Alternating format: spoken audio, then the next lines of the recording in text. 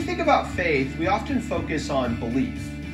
Some churches will engage skeptics or non believers by immediately trying to get them to believe something about Jesus. Now, belief is important, but sometimes we can fall victim to the misguided notion that once someone believes, their journey's over. But that's far from true. In Luke, we see that Jesus doesn't just want people to believe certain things about him, he wants them to live their lives in a unique way. In fact, Jesus spends much of his time in the Gospels teaching people how to live. It's a good thing, too, because figuring out how to live is one of the primary questions every human being has to answer.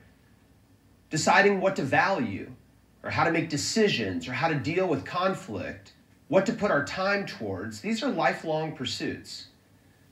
When it comes to questions about living, the answers become even harder when we're bombarded with conflicting messages. I mean, we live in a culture where around every corner or on a million web pages, there's advice on how to live. We can read self help books, talk to friends, go to therapy, listen to experts, model our parents, or just go with our gut. With all of these options and more, we can become disoriented, confused about how to move forward and how to live our own life. And it's in the midst of this that Jesus offers his disciples God's take on the matter. And more often than not, God's wisdom for living challenges what we hear in the world.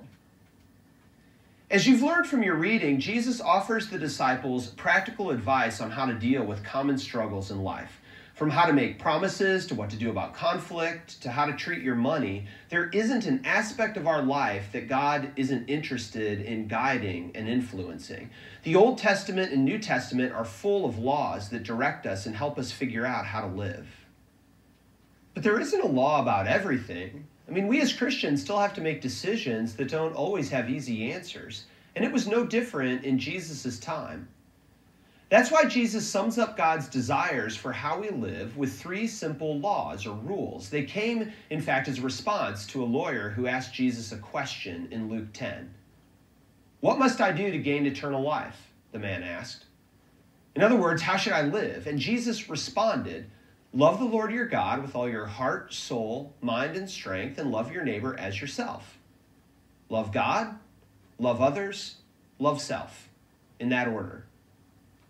Sounds easy. But remember, this is not any old love. It's not a fluid understanding of love that we get to define for ourselves. No, Jesus defines this love for us and asks us to follow him to practice it.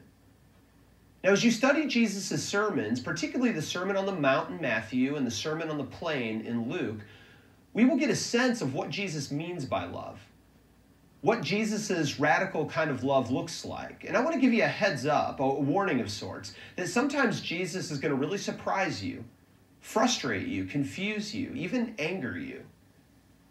But I encourage you not to argue with Jesus too quickly or to dismiss his teachings as too impossible.